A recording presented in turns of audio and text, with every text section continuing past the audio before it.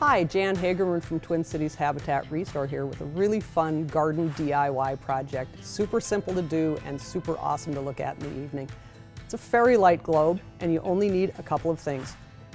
An old light fixture globe, an old flower pot, a strand of Christmas lights, and some spray paint. Take the Christmas lights, stuff them in the globe, run a bead of silicone around the bottom of the flower pot after you've spray painted it a fun color. Set it let it go for about 24 hours. That's all there is to it. In the garden in the summertime or along the driveway at Christmas, it's really cool. So come see us at the Restore or check out our website, restore.tchabitat.org.